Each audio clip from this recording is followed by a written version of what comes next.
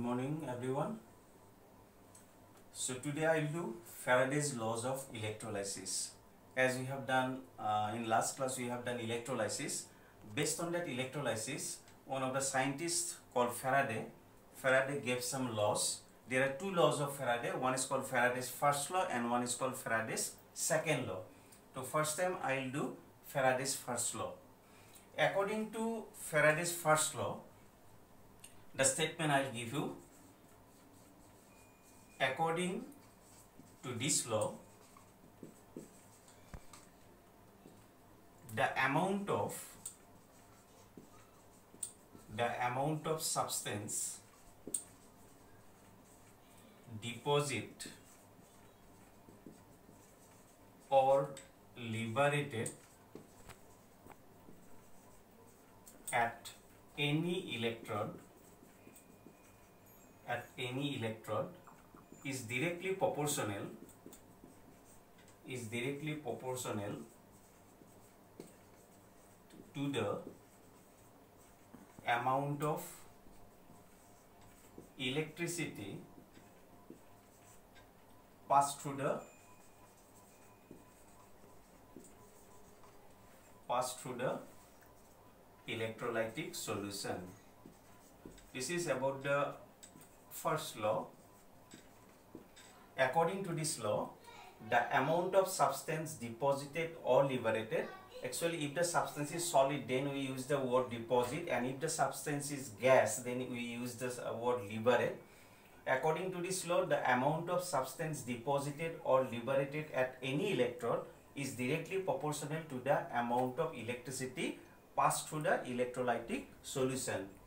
That means yesterday as we have done suppose this is one of the electrolytic solution. Here you have to dip two electrode. The electrode should be connected with the battery like this way.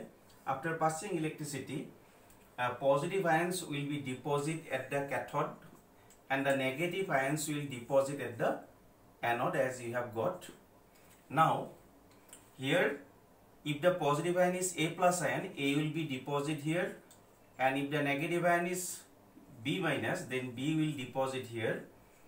Now according to this law according to this first law how much a will deposit here or how much b will deposit at the anode it mainly depends upon how much electricity you have passed through the solution. That means if you pass more electricity more amount of substance you can deposit.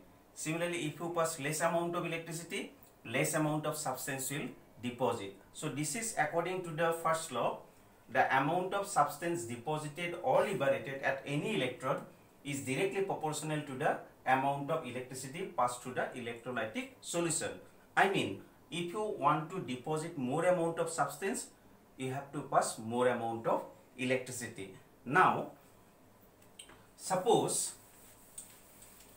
you have passed q coulomb of electricity. Suppose you have passed q coulomb of electricity and suppose w gram of substance is deposit on your electrode মানে after passing q coulomb of electricity w gram of substance is deposited at the electrode then according to the first law you can write w is directly proportional to q I mean Q is the electricity, W is the amount of substance deposit. The amount of substance deposit is directly proportional to the amount of electricity passed through the solution. When you remove the proportional sign, when you put equal sign, then a constant will come Z, Z into Q. This Z constant, it is called electrochemical equivalent. This Z constant is called electrochemical equivalent. Now, W is proportional to Q, I mean amount of substance is directly proportional to the amount of electricity. When you remove the proportional sign, a constant will come that represented by Z and Z is called electrochemical equivalent. So what is Q? Q means the surge or amount of electricity. Now, if I ampere of current.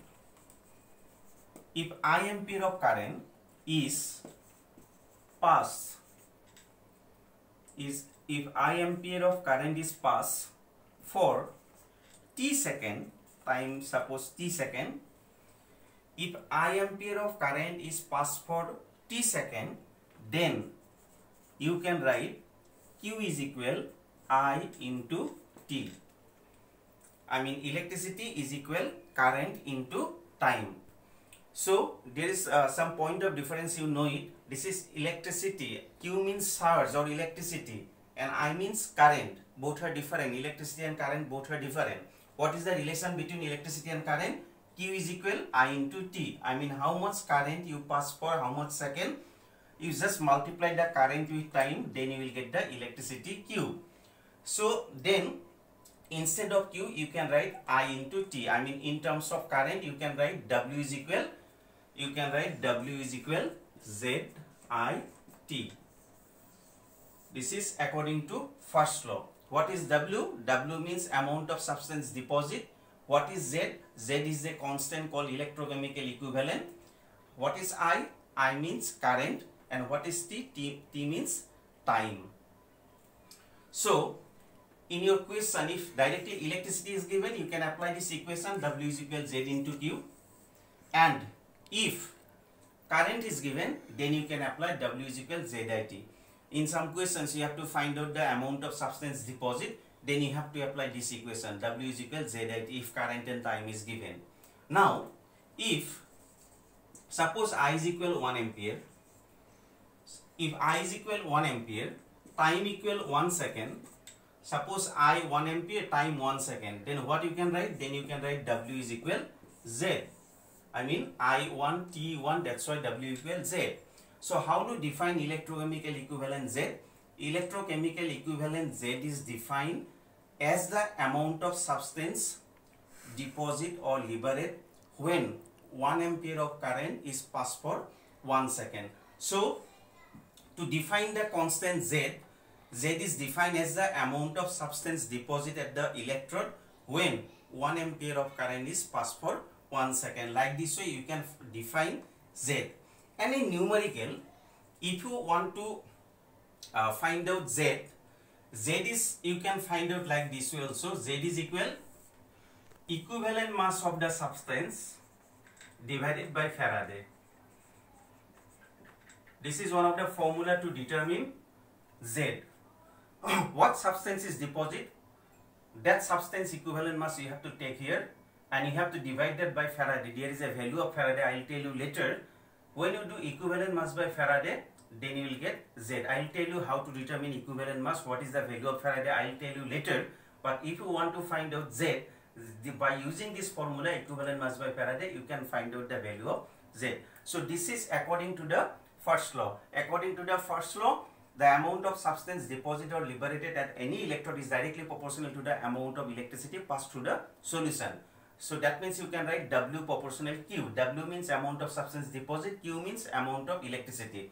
When you remove the proportional sign, a constant will come Z. So W equals ZQ, Z is called electrochemical equivalent. Now, if I ampere of current is passed for T second, then Q is equal, you can write I into T. I mean the equation you can write W is equal ZIT. If I is equal 1 ampere, T equal 1 second, then you can write W is equal Z that means electrochemical equivalent is defined as the amount of substance deposit or liberate when 1 ampere of current is passed for 1 second. So this is about the Faraday's first law. Thank you.